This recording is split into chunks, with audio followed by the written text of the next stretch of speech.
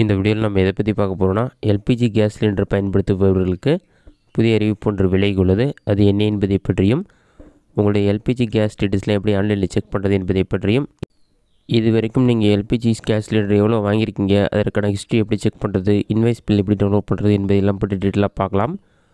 First விலையான அறிவிப்பு என்னென்னு பார்க்கலாம். எல்பிஜி சிலிண்டர்கள் அனைத்தும் பார்த்தீங்கன்னா சிறப்பு ஸ்டால்களால் உருவாக்கப்பட்டவை. மேலும் பாதுகாப்புக்காக பார்த்தீங்கன்னா சிலிண்டர் மேல் பாதுகாப்பு கோட்டிங் கொடுக்கப்பட்டுள்ளது. பிஏஎஸ் தரநிலைகளுக்கு ஏற்ப சிலிண்டர்கள் உருவாக்கப்படுகிறது. சிலிண்டர் பயன்படுத்துபவர்கள் எவ்வளவு பாதுகாப்பாக இருந்தாலும் ஒரு சில சமயங்களில் சிலிண்டர் விபத்துகள் ஏற்படுகிறது. எல்லா சிலிண்டர்களுமே பார்த்திங்கன்னா குறிப்பிட்ட காலத்துக்கு ஒரு முறை முழுமையாக பரிசோதிக்கப்பட வேண்டும். புதிய சிலிண்டர் பத்து ஆண்டுகள் கழித்து பரிசோதிக்கப்படும். அதன்பின் ஒவ்வொரு ஐந்தாண்டுகளுக்கும் ஒரு முறை பரிசோதிக்கப்படும். சிலிண்டர்களை நிரப்பும் ஆலைகள் மற்றும் அங்கீகரிக்கப்பட்ட ஒப்பந்ததாரர்களால் சிலிண்டர்கள் பரிசோதிக்கப்படுகிறது. பரிசோதிக்கப்பட்ட பின் அடுத்த சோதனைக்கான தேதி ஒட்டப்பட்ட சிலிண்டர் அனுப்பி வைக்கப்படும். இதை ஏஜென்சி ஊழியர்கள் ஐந்து ஆண்டுகளுக்கு ஒரு முறை ஆய்வு செய்தனர். இருநூறு ரூபாய் கட்டணமும் இதற்கு வசூலிக்கப்பட்டது. இந்த நிலையில் பார்த்தீங்கன்னா தற்போது சமையல் கேஸ் சிலிண்டர் பாதுகாப்பு சோதனையை இலவசமாக மேற்கொள்ளும் வசதியை எண்ணெய் நிறுவனங்கள் துவங்கியுள்ளது. இனி சிலிண்டர் டெலிவரி செய்யும் ஊழியர்களே சோதனை செய்து தங்களின் மொபைல் ஃபோன் செயலியில் பதிவு செய்வார். விவரங்களை ஊழியர் தன் மொபைல் ஃபோன் செயலியில் பதிவு செய்ய வேண்டும். பின் வாடிக்கையாளரின் பதிவு செய்த மொபைல் ஃபோனுக்கும் ஓடிபி எனப்படும் ஒருமுறை பயன்படுத்தும் ரகசிய குறியீட்டு வரும். இதற்கு பின் சோதனை முழுமை பெறும். இந்த சோதனைக்கு வந்து எந்த ஒரு கட்டணமும் வசூலிக்கப்படாது என்று கூறப்பட்டுள்ளது. இதுதான் தற்போது வெளியான புதிய அறிவிப்பு. இது மட்டும் இல்லாமல் உங்களுடைய எல்பிஜி கேஸ் கனெக்ஷனுக்கான டீட்டெயில்ஸ் எல்லாமே நீங்கள் ஆன்லைனில் செக் பண்ணி பார்த்து கொள்ள முடியும். நீங்கள் இகேஒய்சி அப்டேட் பண்ணால் தான் மானியம் வரும். இகேஒய்சி அப்டேட் பண்ணியிருக்கலான்னு சொல்லி ஆன்லைனில் செக் பண்ணிக்கலாம். இது வரைக்கும் நீங்கள் சிலிண்டர் ஆர்டர் பண்ணியிருந்தால் அதற்கான இன்வைஸ் பில்லும் ஆன்லைனில் டவுன்லோட் செய்து கொள்ள முடியும். இது எப்படி யூஸ் பண்ணுறது என்பதை பற்றி நம்ம டீட்டெயிலாக பார்க்கலாம். ஃபஸ்ட்டு உங்களுடைய மொபைலில் ஏதாச்சும் ஒரு ப்ரௌசர் ஓப்பன் பண்ணிக்கிங்க. அதில் கூகுள் சர்ச்சில் போயிட்டு மை எல்பிஜின்னு சொல்லி டைப் பண்ணுங்கள் அந்த மாதிரி நீங்கள் டைப் பண்ணி வைக்க கொடுத்தீங்கன்னா ஃபஸ்ட் எடுத்துனே மை எல்பிஜி டாட்னு ஒரு வெப்சைட் ஷோகும் அந்த வெப்சைட் வந்து செலக்ட் பண்ணுங்கள் அந்த வெப்சைட் நீங்கள் செலக்ட் பண்ணி ஒரு ஃபைவ் செகண்ட்ஸ் லோட் ஆகும். லோட் ஆகி கம்ப்ளீட் ஆன பிறகு Bharat gas HP gas Indian கேஸ்னு மூணு ஆப்ஷன் இருக்கும். நான் வந்து இந்தியன் கேஸ் செலக்ட் பண்ணிக்கிறேன். நீங்கள் எது யூஸ் பண்ணுறீங்களோ அதை செலக்ட் பண்ணிங்க எல்லாமே சேம் மெத்தடில் தான் செக் பண்ணுற மாதிரி இருக்கும். ஒரு ஃபைவ் செகண்ட்ஸ் லோட் ஆகும். லோட் ஆகி கம்ப்ளீட் ஆன பிறகு சைன் இன் ரிஜிஸ்டர் ரெண்டு ஆப்ஷன் இருக்கும். உங்களுக்கு ஆல்ரெடி நீங்கள் அக்கௌண்ட் க்ரியேட் பண்ணியிருந்தீங்கன்னா சைன்இன் ஆப்ஷனை கிளிக் பண்ணுங்கள் அதை கிளிக் பண்ணி உங்களோட மொபைல் நம்பர் என்டர் பண்ணிவிட்டு கண்டினியூ ஆப்ஷனை கிளிக் பண்ணி பாஸ்வேர்டு என்டர் பண்ணி லாகின் பண்ணிக்கலாம். ஆல்ரெடி நீங்கள் அக்கௌண்ட் க்ரியேட் பண்ணலாம் ரிஜிஸ்டர் நவ் ஆப்ஷனை செலக்ட் பண்ணிவிட்டு நெக்ஸ்ட் பேஜில் உங்களோட first name last name LPG connection கூட என்ன மொபைல் நம்பர் லிங்காக இருக்கோ அந்த மொபைல் நம்பர் இமெயில் ஐடி தேவைப்பட்டால் என்டர் பண்ணலாம் இல்லைனா என்டர் பண்ண தேவை அதில் என்டர் பண்ணி ப்ரொசீட் கொடுத்தீங்கன்னா ஓடிபி வரும்.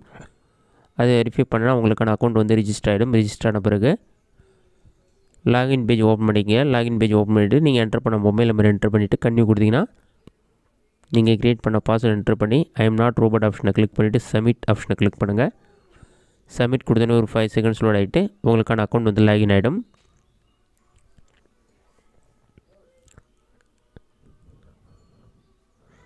லாகின் ஆகிறதுக்கு ஒரு ஃபைவ் செகண்ட்ஸ் டைம் ஆகும். டைம் ஆன பிறகு லாகின் பேஜ் ஓப்பன் ஆகிடும் ஓப்பன் ஆன பிறகு இந்த மாதிரி தான் ஷோக்கும் பாட்டமில் ஸ்க்ரோல் பண்ணுங்கள் இதில் பார்த்தீங்கன்னா டேஷ்போர்ட்னு சொல்லி ஒரு ஆப்ஷன் இருக்கும். அதுலேயும் உங்களோட எல்லா டீட்டெயில்ஸுமே இருக்கும். கன்சியூமருடைய நேம் அவங்களுடைய மொபைல் நம்பர் இருக்கும். ரைட் சைடில் வந்து வியூ மோர் டீட்டெயில்ஸ்னு ஒரு ஆப்ஷன் கொடுத்துருப்பாங்க. அந்த ஆப்ஷனை கிளிக் பண்ணிங்கன்னா ஃபுல் டீட்டெயில்ஸும் வந்துடும் மை இன்ஃபோன் வந்துட்டு இந்தியன் டீட்டெயில்ஸ் சொல்லி ஃபஸ்ட்டு ரிலேஷன்ஷிப் ஐடி நம்பர் இருக்கும். சப்சிடி உங்களுக்கு இருந்தால் வந்துட்டு க்ரீன் கலரில் ஒரு டிக் மார்க் மாதிரி ஷோ ஆகும். சப்சிடி இல்லைனா ரெட் கலர் டாட் இருக்கும். க்ரீன் கலர் இருந்தால் சப்சிடி உங்களுக்கு தொடர்ந்து வந்துகிட்டே இருக்குன்னு அர்த்தம். அடுத்தது உங்களுடைய கனெக்ஷனோட டைப் கொடுத்துருப்பாங்க. டைம் டெலிவரி நெக்ஸ்ட்டு டிஸ்ட்ரிபியூட்டருடைய டீட்டெயில்ஸ் சொல்லிவிட்டு உங்களுடைய கேஸ் ஏஜென்சி எதுவோ அதோடைய நேம் இருக்கும். அவங்களுடைய காண்டாக்ட் நம்பர் டெலிவரிக்கான ரேட்டிங் கோட் அந்த அட்ரஸ் டீட்டெயில்ஸ் எல்லாமே கொடுத்துட்டு அடுத்ததாக கன்சியூமருடைய டீட்டெயில்ஸ் எல்லாமே கொடுத்துருப்பாங்க.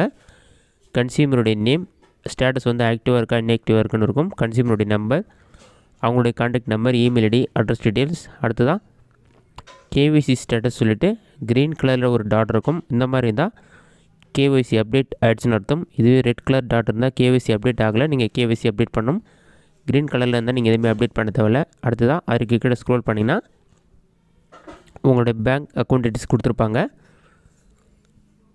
உங்களுடைய bank account number IFSC code பேங்க்கோட name transaction details next Aadhaar details கொடுத்துருப்பாங்க. கேஒய்சினாலே ஆதார் டீட்டெயில்ஸ் தான் அப்டேட் பண்ணுற மாதிரி இருக்கும்.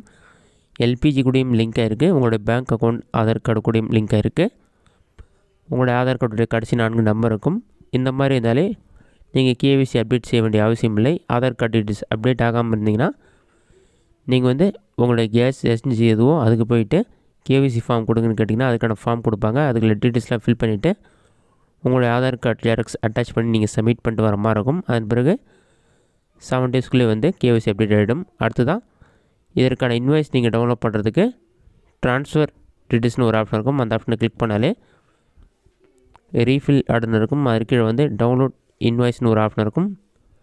இ இன்வாய்ஸ் சொல்லியிருக்கும் அதை கிளிக் பண்ணிங்கன்னா ஒரு ஃபைவ் செகண்ட்ஸ்லேயே பிடிஎஃப் ஃபைல் ஒன்று டவுன்லோட் ஆகி ஓப்பன் ஆகும்.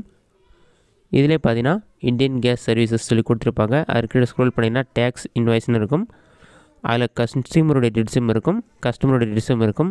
இன்வாய்ஸ் டீட்டெயில்ஸ் சொல்லிவிட்டு நீங்கள் ஆர்டர் பண்ண டேட் இன்வாய்ஸ் நம்பர் அடுத்ததாக ப்ராடக்ட் குவான்டிட்டி ப்ரைஸோட டீட்டெயில்ஸ் எல்லாமே இருக்கும். இது நீங்கள் பிடிஎஃபாக இருக்கும். இது உங்களுக்கு தேவைப்பட்ட பிரிண்ட் எடுத்துக்கலாம். இந்த மெத்தடை பயன்படுத்தி இன்வாய்ஸும் நீங்கள் ஆன்லைனில் டவுன்லோட் பண்ணிக்கலாம். கேவிசி அப்டேட் பண்ணாமல் இருந்தால் மட்டும் அந்த கேஸ் ஏஜென்சிக்கு போய் நீங்கள் அப்டேட் பண்ணால் தான் உங்களுக்கு தொடர்ந்து மானியம் வரும். என்னால் வந்து அப்டேட் ஆகாமல் இருந்தால் அப்டேட் பண்ணிவிடுங்க இந்த வீடியோ உங்களுக்கு யூஸ்ஃபுல்லாக நினைக்கிறேன். இந்த வீடியோ பிடிச்சிருந்தால் லைக் பண்ணுங்கள் வேறு ஏதாச்சும் டவுட் இருந்தால் கொண்டு பஸ்ஸில் கொண்டு பண்ணுங்கள்